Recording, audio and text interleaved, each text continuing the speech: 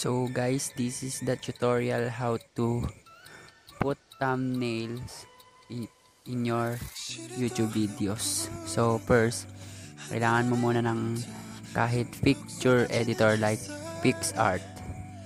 So open mo lang siya.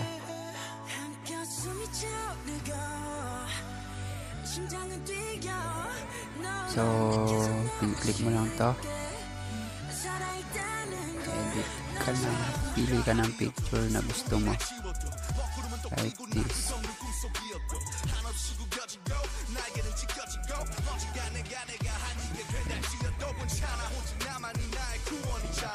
Is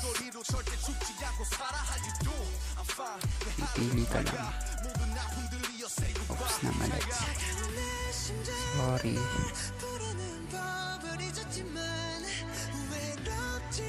Um,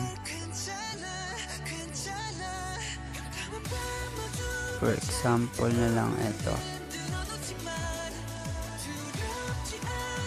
Ito. So, edit muna natin siya. Ikaw bahala kung ano gusto mong kung ano gusto mong effects. Ah,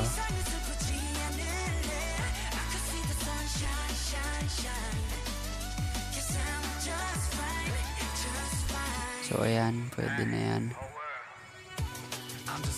Yan. Yan. Ito na. Hindi ko. Pause. Kung ano yung topic mo sa YouTube, sa YouTube, yun yung lalagay mo dito. So, text.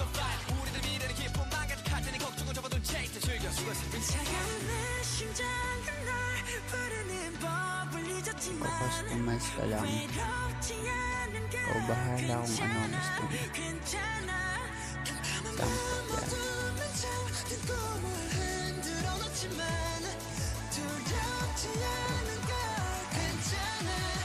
Ngayon, pag okay na yan, pag nakapag-edit ka na, okay, save, save,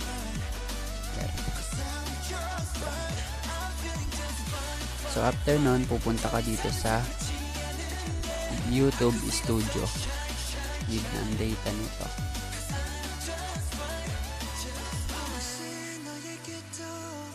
So, kiklik mo lang yung video na gusto mong palitan like this one.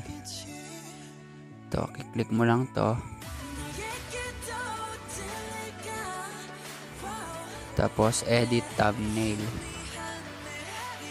So, mamimili ka lang kung ano yung gusto mo na picture. Ayan, halimbawa, ito. Since meron na ako, hindi ko na siya papalitan. Nakita ko lang sa inyo yung So, ito select.